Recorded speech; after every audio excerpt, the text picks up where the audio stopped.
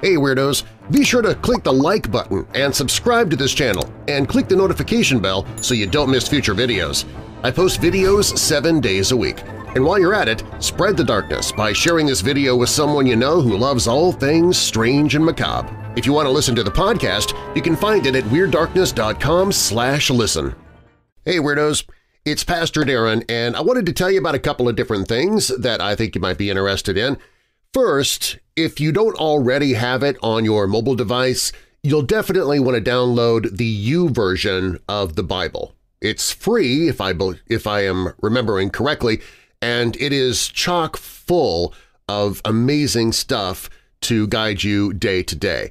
The reason I bring that up is I am now doing a daily Bible study in the YouVersion of the Bible, and if you would like to follow me on that and maybe do the studies along with me, all you need to do is look for me and friend me on the YouVersion of the Bible, and my name is simply Darren Marlar, all one word, D-A-R-R-E-N, M-A-R-L-A-R. Just look for Darren Marlar. You can friend me, and I will accept your friend request, and we can do these studies together. Today, I just started a study called God's Crime Scene. So if you've ever thought about crime scenes, true crime, and the Bible at the same time, well, then this is definitely for you. But the main reason I'm coming to you is to let you know that I've created a brand new Facebook page just for Church of the Undead and I will be posting things that I learn in my Bible study, and part of my Bible study each day, along with the U-Bible that I just told you about, is each day, so long as I'm feeling up to it and actually get to my Bible study, I go through a book of Proverbs. And I go with the corresponding chapter of the day. Today being February 22nd, I looked in Proverbs 22. There are 31 chapters in Proverbs, so it works perfectly for any day of the month. And as I was reading today, I came across a great verse for those who truly want to better themselves on the job.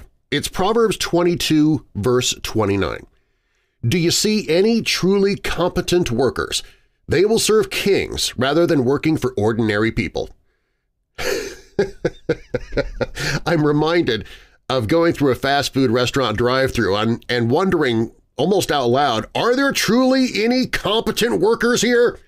It is so hard to find good workers nowadays. I mean, this has always been something that we've wanted to have. We've wanted either as an employer we wanted to have competent workers or we wanted to be a competent worker if we were an employee.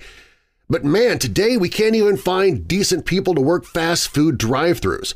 So how much more then would a truly hard and competent employee stand out from the rest? Now is the absolute perfect time to build a future in your chosen career, whatever it is. It should be a lot easier than ever to be a shining gold nugget amongst the rubble around you. Again, Proverbs 22 verse 29, Do you see any truly competent workers? They will serve kings rather than working for ordinary people.